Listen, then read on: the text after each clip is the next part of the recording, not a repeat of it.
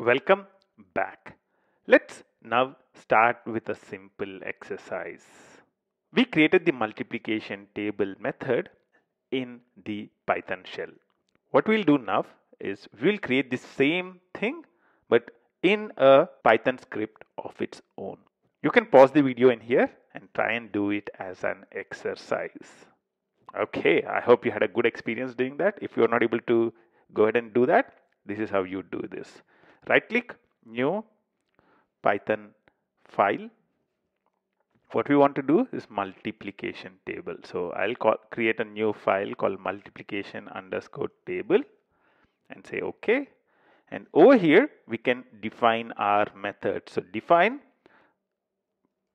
print multiplication table. So which table? Start and end and colon. If you remember, we used the for loop.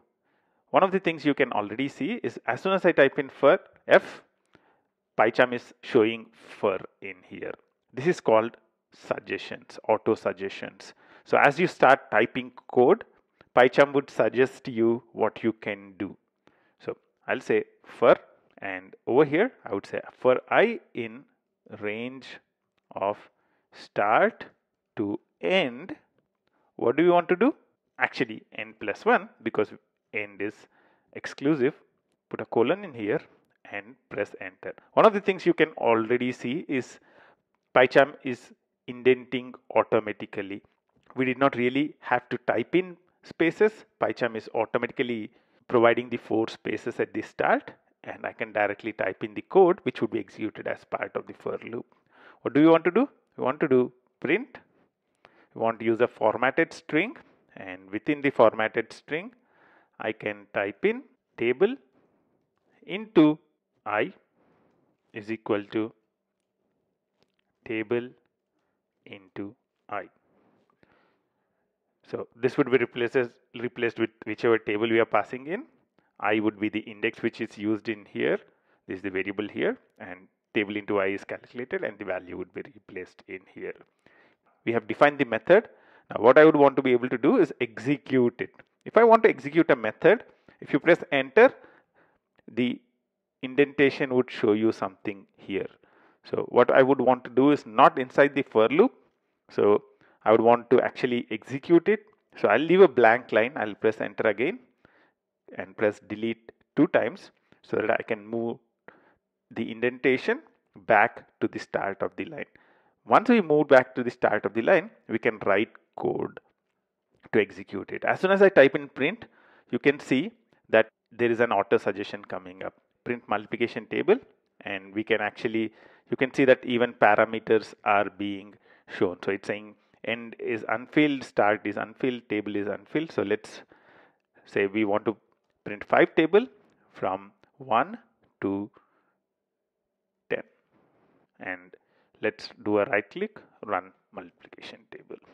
You can see that there is an output which is being shown in the console. One of the most important things for you to understand is the indentation.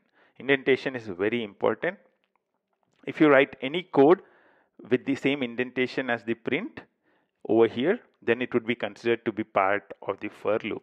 For example, if I say print 5, what would happen?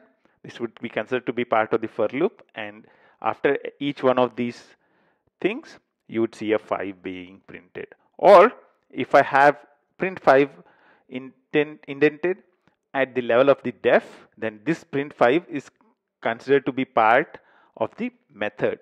So it's considered to be part of the print multiplication table so first it would execute this for loop and after that it would execute print 5.